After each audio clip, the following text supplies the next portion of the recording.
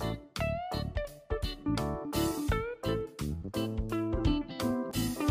my respected teachers. Today, class is second key and he has got a bold opportunity to organize an assembly on sports day.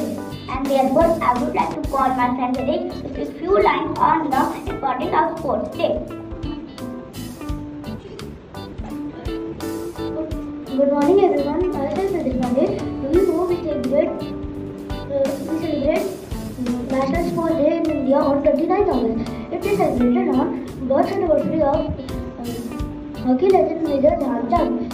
This day was designated India's National Sports Day in two-